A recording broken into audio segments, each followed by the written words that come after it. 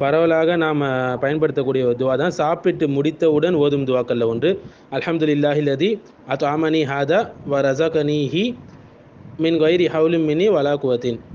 இந்த துவா வந்து ஒரு பலவீனமான துவா.